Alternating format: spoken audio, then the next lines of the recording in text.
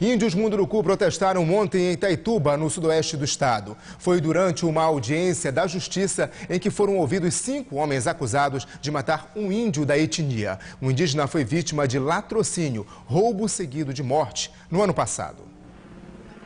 Pequeno grupo de indígenas chegou em frente ao Fórum de Itaituba.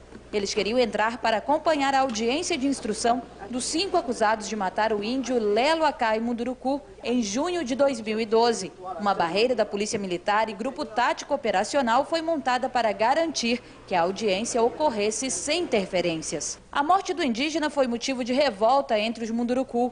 Em represália, eles atearam fogo ao destacamento da Polícia Militar, atacaram os policiais e confiscaram armas e munições mais de mil indígenas ocuparam Jacareacanga e só voltaram para as aldeias depois que uma comitiva do governo estadual e tropas de operações especiais da Polícia Militar chegaram na cidade.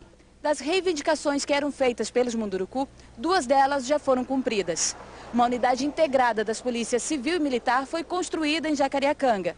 Os delegados revezam o atendimento na cidade. O efetivo da Polícia Militar aumentou Agora os índios cobram o julgamento rigoroso dos acusados de crimes contra os indígenas.